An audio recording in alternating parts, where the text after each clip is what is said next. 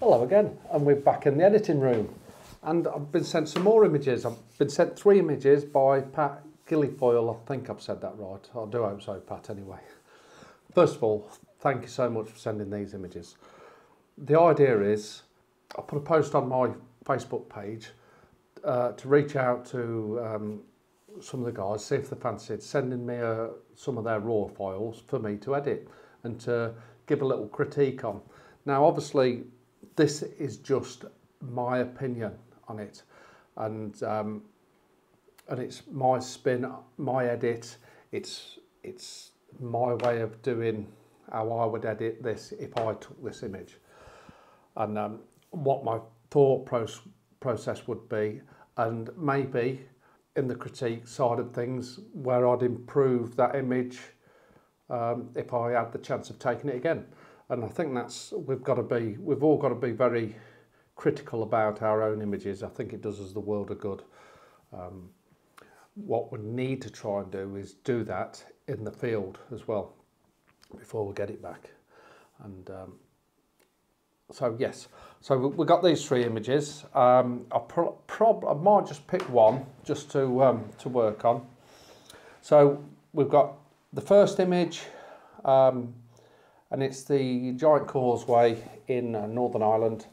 It looks a phenomenal place and it's a place where I would absolutely love to visit.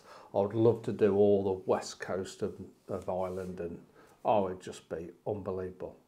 So you're a very, very, very lucky man. That's the first thing I would say. Okay, so obviously we've got some um, long exposure photography going on here and um, I like them all for their for different reasons, to be honest with you. So it's going to be a little bit difficult to choose which one. I'm probably going to choose this one here. The reason why I'm going to choose this one, I think, is because I love the cloud formation here. With the, with the causeway, I'm assuming that's the causeway part of it here.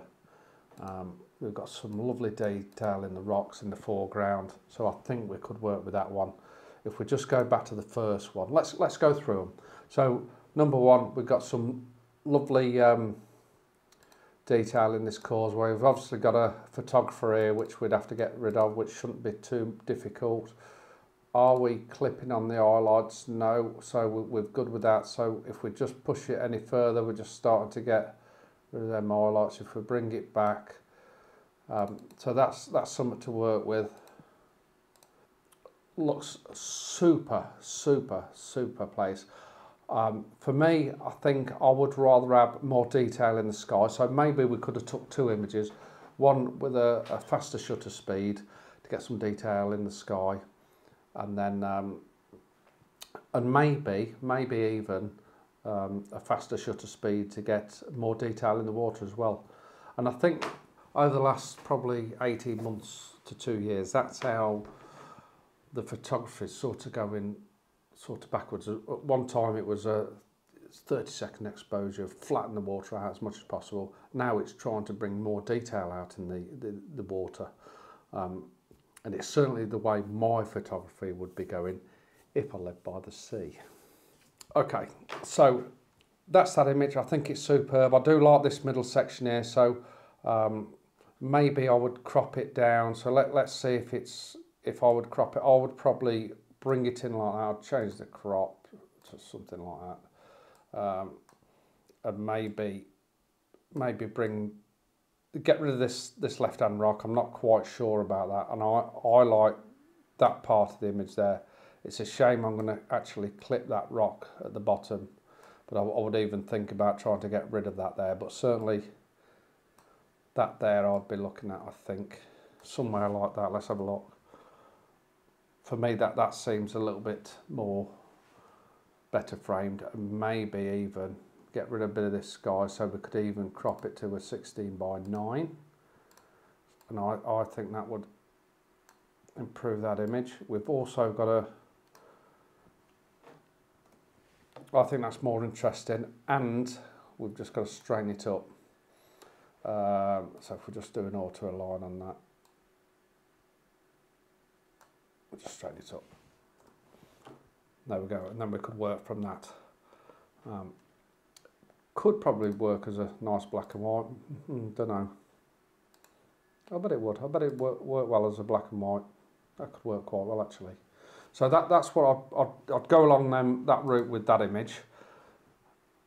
This image number three, the colours is fantastic.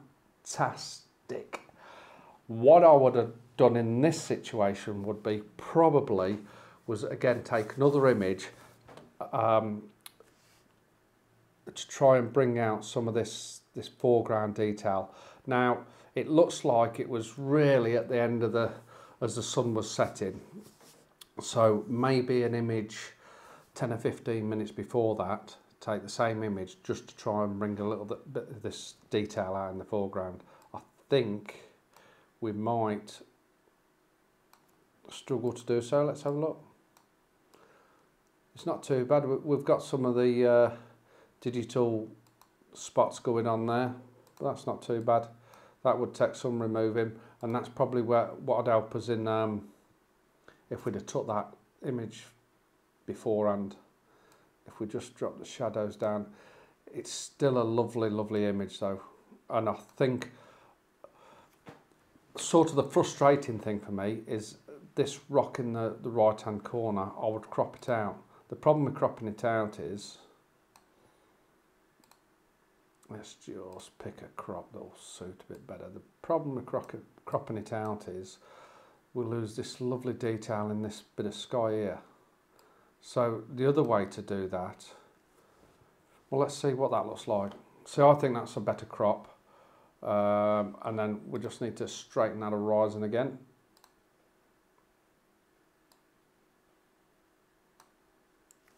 Just bring that straightish there. So we've still got that rock coming in. Just crop it slightly again. Somewhere, somewhere, let's go as far as we can, but we aren't getting that rocking. Something like that, I think we could work with that. Lovely image. Absolutely love this colour in the sky here. Super. Just a shame we didn't bring any this detail in here. I do like that though. Do like that. Let's see if it if we warm it up it helps a little bit as well. Just to get rid of that bit of blueness if you like, even though it's blue hour. Yeah, it's not too bad. It's not too bad at that. Um, if, as soon as we lift the whites, we're going to get rid of that. If we drop the whites, it actually looks better. So that's what I would do. I would try and lift the blacks a bit to try and bring this detail out. So again, that's how I would sort of work that image very, very quickly and try and get the best out of that as I possibly can. The, the problem we've got here now is there's nothing going on in this, this right hand side pretty much at all. So maybe we need to crop it even more, let's say. Let's just bring that back in there that would probably actually work at its best for me. Uh, I would probably drop the saturation down just a touch. Um, I would try and bring the this area out even more. Love, love the causeway. The causeway is stunning, absolutely stunning.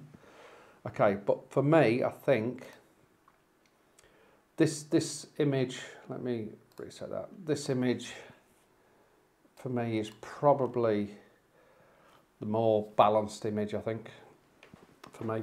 Love, love the sky, love the detail in the sky. You, you can see it's got that little bit of movement in it. I would say it's about a 30 second exposure, something like that again. Again, I think I would go back to, I really would change them exposures and, and, and even exposure blend them. Um, so let's bring them shadows up a bit so we get a little bit of detail. So we're going to work on we're going to work on this image and um, see how we can prove it. First thing I would do is is chromatic aberration and enable the um, profiles. So that's that done. The th next thing I would do is actually crop it because of that little rock there, I would crop it and I'd just come in slightly. Maybe No, that'll be okay. That's okay. That we can always work that again. I think the horizon's pretty straight, but we'll just check that. Looks pretty good to me. Maybe just off, maybe, maybe, maybe. Um, so that that's the start. Like I say, I, love this detail in the sky, so I'll try and bring that out. Uh, we'll have a little look around. Have a look at everything else. Everything else looks pretty good. So I would start bringing this detail out in the sky. I would bit sort of concerned about having this left bottom left hand third any darker than what it is already. So I'd really concentrate on this sky area. So let's select sky.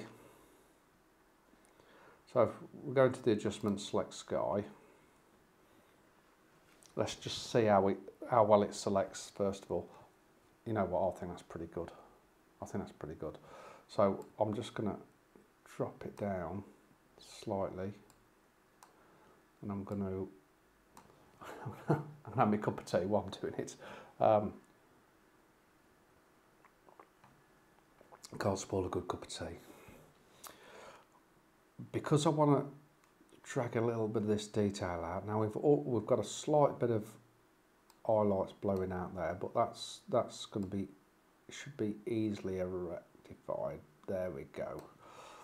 Already starting to get that bit of mood. I'm going to up the DA just slightly to bring that detail out.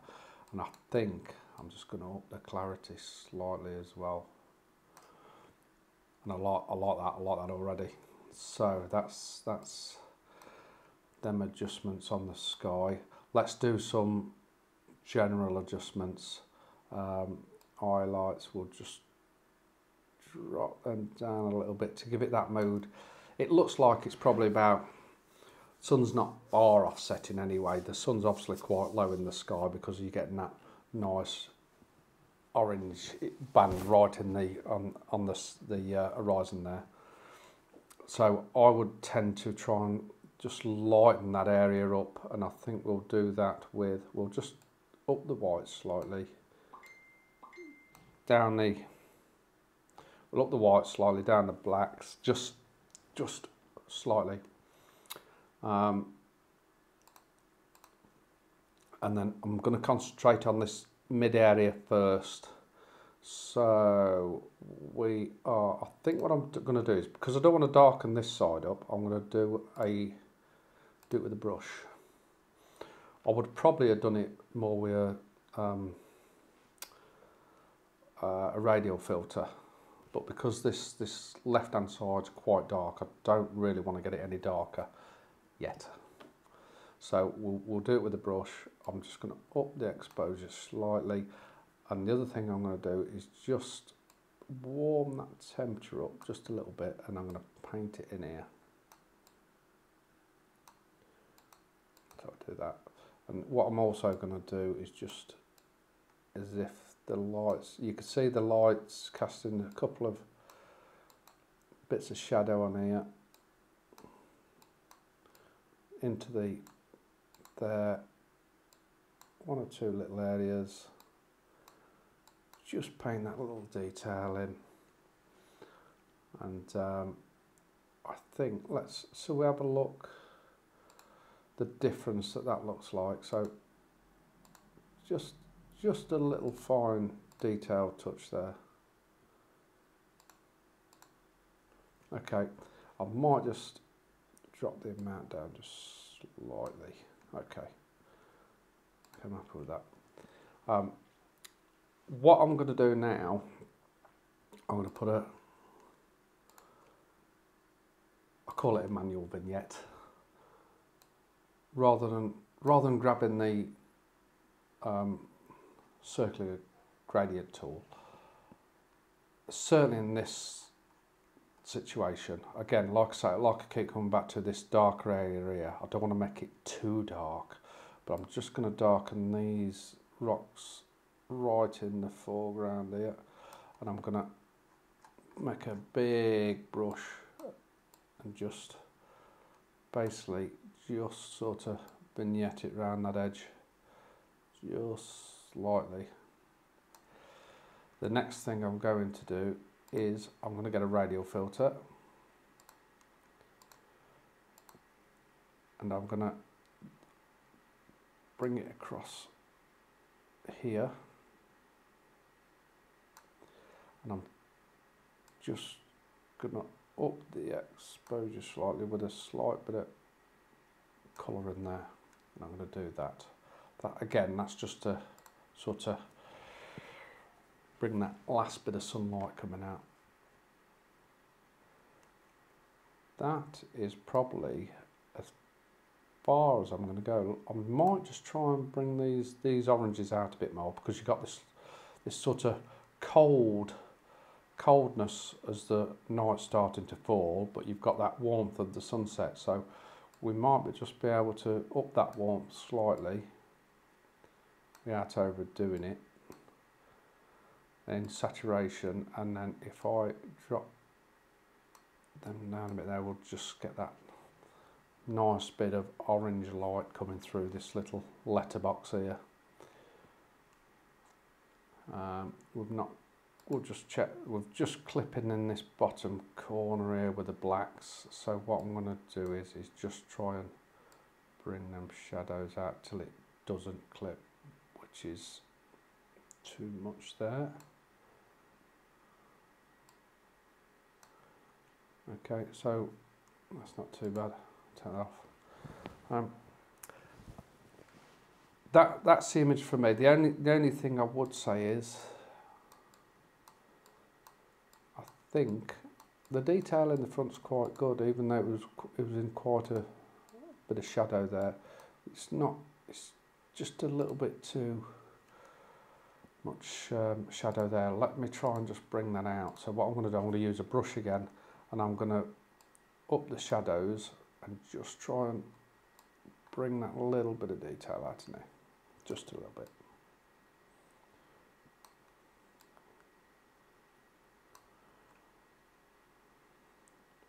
There's couple other little places where I just want to bring it out. The other thing I'm going to do is I'm going to give it a little bit of contrast, just a little bit and then I'm going to give it a try and give it a bit of depth to the image by trying to bring these highlight, highlights out a little bit more where the this bright part of the sea images if you like as it's been splashing over these rocks just to give it that little bit of depth to the image we aren't overdoing it hopefully.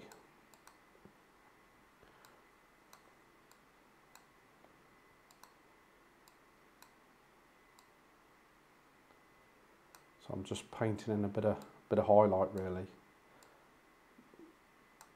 around that that image. So the image draws you in from the, the centre of the image all the way through the causeway and, and into the sunset beyond.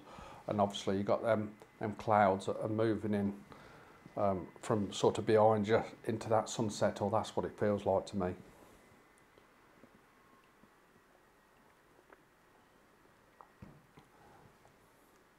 We'll um, like I I don't think there's a lot more we can do with that image. I don't think it needs warming up. We can see.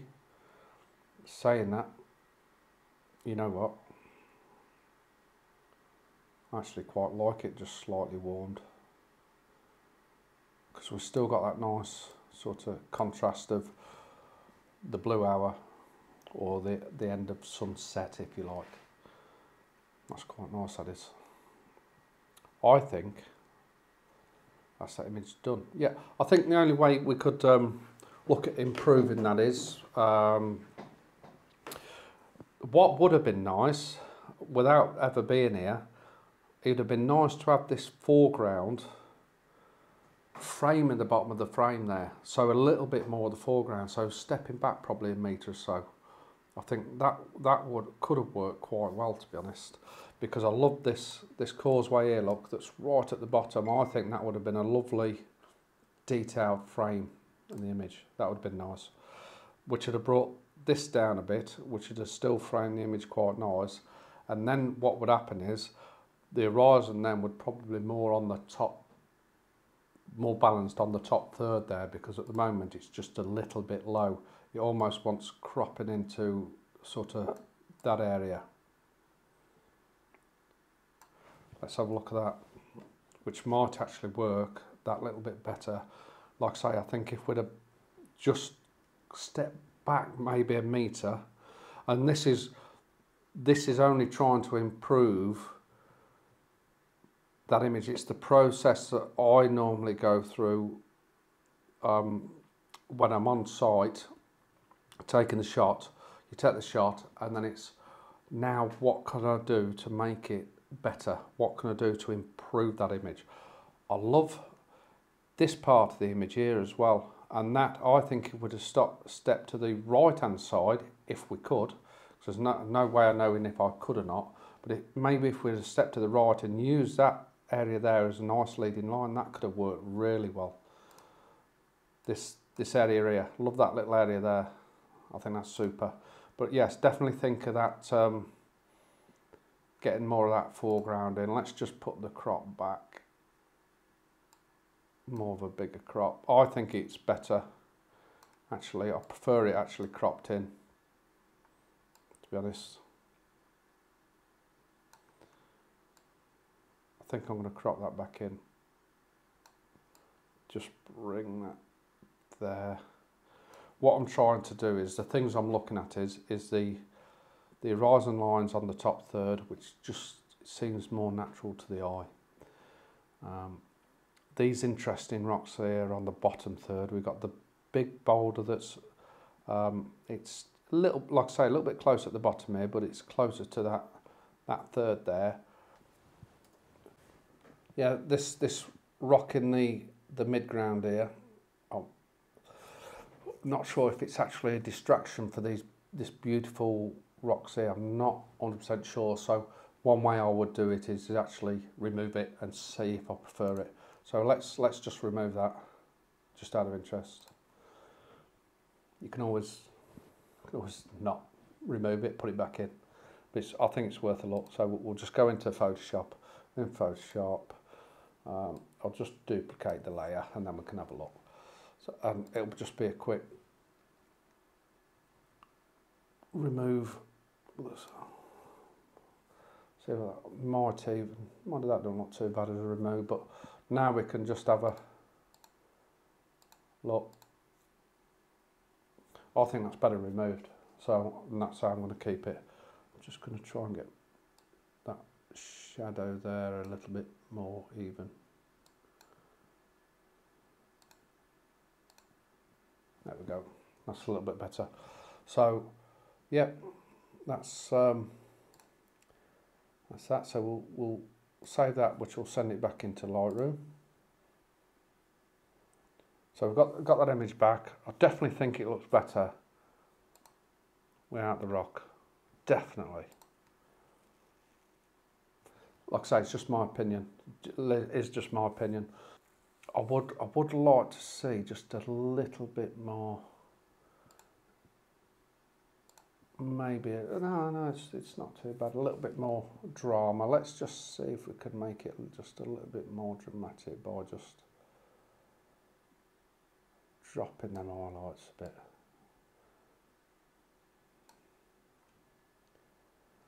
What I don't want it to do is look like two two images. Now I think we we can overcook that. Um,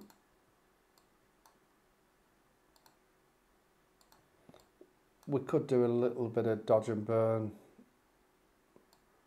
on this these couple of foreground rocks. Let's let's see if that'll help that depth as well. Uh, and when I say dodge and burn, it's just a little bit of bringing up these highlights, going in tight to the image, bringing these highlights up just slightly there. Okay.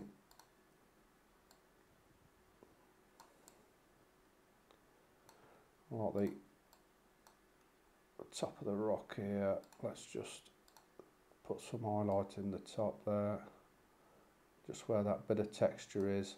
On this bit of rock here, we'll just bring, I mean, we really are doing next to nothing, just real fine adjustment, just to give a little bit of depth in that image.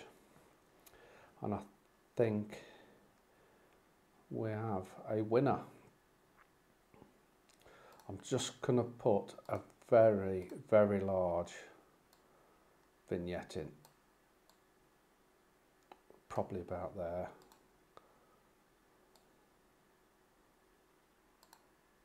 I'm happy with that. We'll, we'll save that. And that's that's my edit on that image and my thoughts on it and my critique. Yes, um, I think if I was taking this image, I would definitely, the more I looked at it, the more I would step back.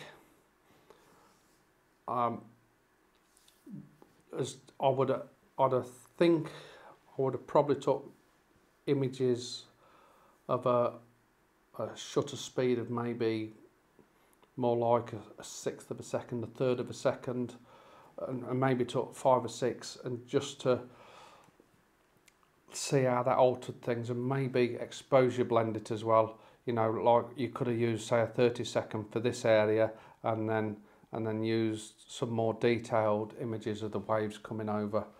Again, but it, this is where it's harder to judge when you've not actually on scene. But that, that's how I feel for me. Because it, it looks like the waves are crashing in from this area here, where it's gone a little bit whiter. And I think if they was, if you'd got a bit of texture coming over, especially these foreground rocks and things like that, I think they would look superb. Um, but still, very, very nice image indeed. And I do prefer the detail in the sky, sky rather than the, the more blown out image. And that is just a personal preference. Again, this one will be a bit more tricky because it's obviously a lot darker.